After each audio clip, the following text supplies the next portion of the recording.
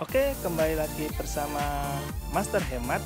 Kali ini saya berkesempatan untuk mereview Kijang kapsul tahun 2000 bermesin diesel 2500 cc.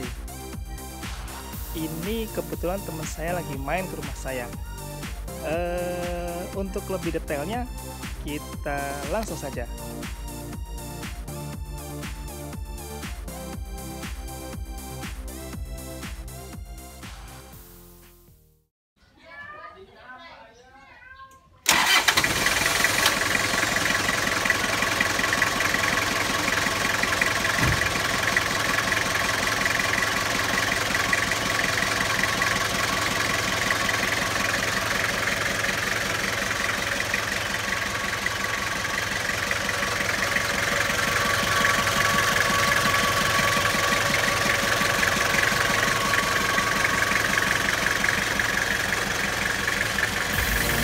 Menggunakan mesin diesel 2500 cc, tenaga sang legenda ini seperti slogannya Toyota memang tiada duanya.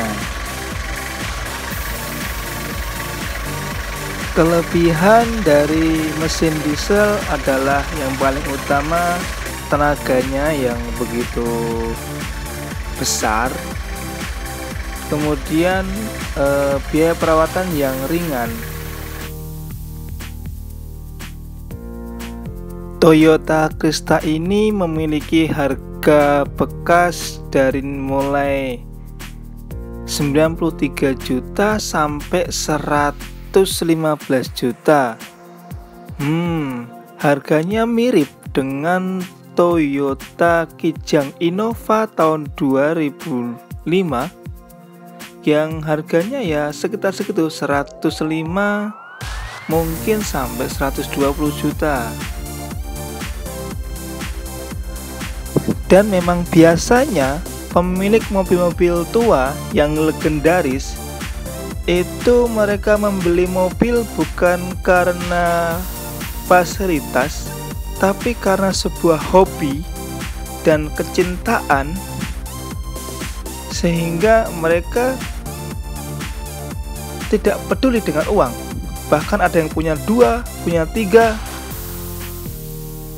Itulah yang disebut hobi. Dan kalau sudah hobi itu perawatan mobilnya pasti bagus.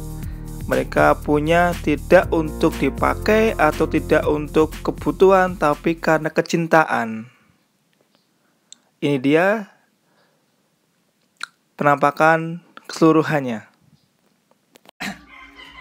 Oke, ini langsung sama ke pemiliknya, teman saya dipanggilnya Mas AM atau Pak AM terserah. Uh, ini saya akan menanyakan kenapa beliau memilih Kijang kapsul dengan harga yang masih 100 jutaan daripada beli mobil baru? Atau beli mobil bekas yang lebih usianya lebih muda dan apa tips-tipsnya untuk membeli Kijang yang legendaris ini? Silakan Bapak. Um, yang pertama mungkin lega ya. Jadi kalau untuk mengangkut seluruh keluarga ya insya Allah terangkut 10 orang muat 10 orang 10 muat. orang muat karena ini sering sering sekali ngangkut keluar keluarga besar muat 10 orang yang kedua mesinnya boleh dibilang bandel lah yang utama bandel, mesin bandel pak mesin ya? bandel blok mesin juga lebih tebal daripada mobil sekarang. Hmm? ditambah lagi bahan bodi ya bahan bodinya juga oke. Okay bahan body ya ukuran mobil tahun 2000 dibandingin dengan tahun setelahnya boleh dicek sendirilah seperti apa.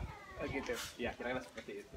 Kira-kira bedanya dengan Avanza eh dengan Kijang yang Innova itu seperti Innova, apa? Soalnya kan untuk Kijang Innova eh, tahun 2005 udah dapat harga segitu. Oh ya, mungkin uh, untuk mobil-mobil keluaran baru termasuk Innova lebih melihat kepada aksesoris hmm, aksesoris. Iya. Jadi kalau untuk bahan body dan segala macam kurang. Jadi mainnya di aksesoris. Mungkin itu. Jadi lebih utama ke body iya. dan kualitas mesin ya? Iya, kualitas mesin insya Allah unggul di tiga kapsul. Nah, sekarang tips-tipsnya agar tidak kena jeblok atau kena mesin atau mobil yang jelek untuk tahun 2000 ini. Eh, mungkin yang harus diutamakan pertama otomatis mesin ya mesin. Mungkin dari suaranya kita pantau pertama kemudian kita cek juga riwayat servis ya, ya servis pemilik yang lama. Yang selanjutnya ya ke body. Nah body yang harus dilihat pertama kolong Tolong. ya kolong kalau karatan atau gimana? kalau memang sudah keropos atau karatan ya sebaiknya tidak diambil Hmm. ya itu pertama yang kedua cek juga eh, body di bawah karpet Body di bawah di bawah karpet. karpet mobil di dalam di interior Oke. dibuka karpetnya dicek apa di situ ada karatan atau tidak Nah, kita bisa pantau di situ kalau misalkan masih mulus silahkan diambil tapi kalau sudah karatan ya paling tinggal menyiapkan budget untuk memperbaiki perbaiki body Termasuk Ya. untuk eh, apa namanya dasar untuk negosiasi pak ya? Ya bisa jadi itu seperti itu. Tapi kalau untuk kenyamanan ya alhamdulillah nyaman. siap. Untuk ukuran duit segitu gitu. Oke. Oke, itu aja pak atau ada yang Ya. lain? Em, Komunitas atau seperti apa? ah, yang pasti ada komunitasnya dan di sini persaudaranya luar biasa ya silaturahimnya. Apa? Walaupun hanya bertemu di dunia maya, tapi luar biasa. Apa namanya komunitasnya pak?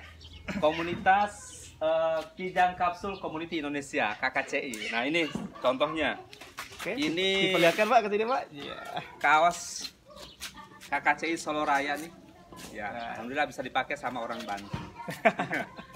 Itu aja atau yang lain? Em, yang lainnya ya tambah saudara di sana. Di mana pun kita mengalami trouble, masalah atau apa pun, insya Allah kita bisa bertemu dengan saudara di sana sesama pe- apa pemakai kijang kapsul. Oke, mungkin itu aja. Terima kasih pada Bapak pemilik Kijang yang legendaris ini. Eh, salam dari kami. Ketemu di video selanjutnya. Assalamualaikum. Waalaikumsalam.